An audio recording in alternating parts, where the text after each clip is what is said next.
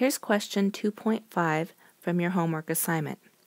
Part A asks you to determine or to calculate the mass ratio of gold to chlorine in the compound gold chloride using values from Mendeleev's table. The table that you need to refer to is on page 52 of your textbook.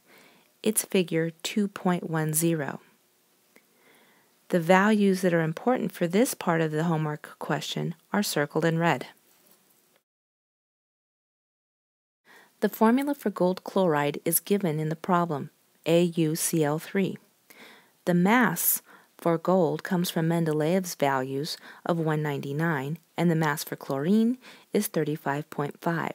There's no units associated with these values. Since we're doing ratios, it's assumed that the units are equal. The formula of gold chloride indicates that there are three chlorine atoms.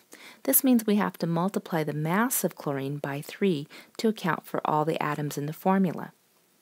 In order to calculate the mass ratio of gold to chlorine, divide the total mass of the gold, 199, by the total mass of the chlorine, 106.5.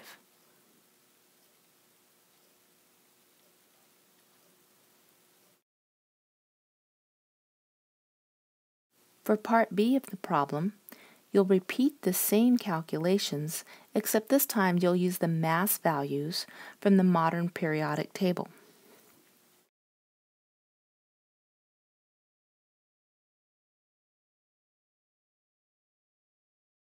For part B, the formula for gold chloride doesn't change. It's still AuCl3.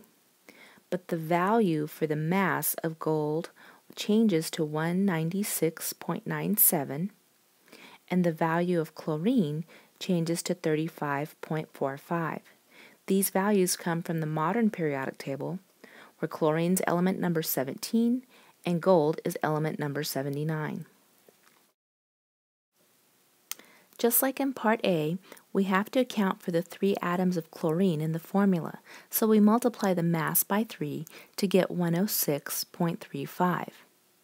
To calculate the ratio of gold to chlorine, divide the total mass of gold, 196.97, by the total mass of chlorine, which is 106.35.